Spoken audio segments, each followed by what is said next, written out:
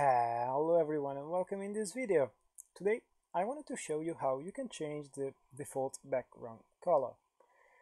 It's pretty easy and you can do it too. So you have to click on project because you have to change uh, a setting for this project.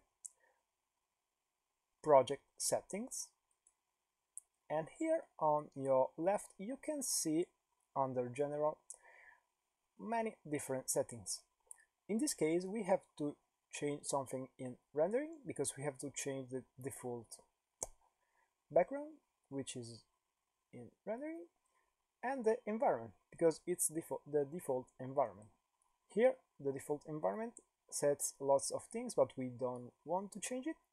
We want to change the default clear color. It's the default color of the background.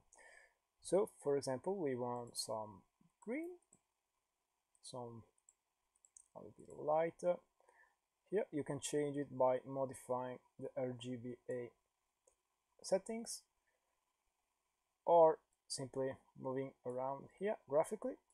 I prefer to do it graphically. You can save the color here if you want, or you just you can just decide the color, and it's done here you you changed your background color.